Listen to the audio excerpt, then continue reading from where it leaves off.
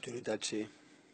sí home, no, no he fet mai, no sé si amb el Barça o amb el Bayern eren capaços de fer tants gols en tants partits.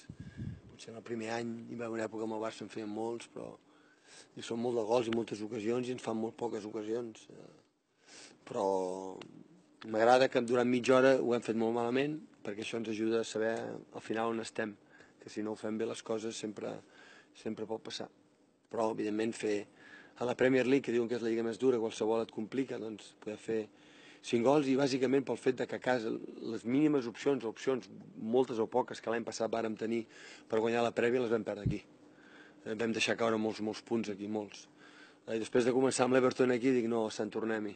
Uh, però és molt bo per nosaltres que el Liverpool 5 gols avui una altra vegada perquè ara després de Stanford Bridge ens ve Stoke i Burnley seguits a casa uh, i és molt important per nosaltres ser sòlids a casa, que la gent pugui sentir que, que el contrari ve i digui uf, aquests a casa estan forts això és molt molt important. Per tant ens dona molta confiança que ho podem fer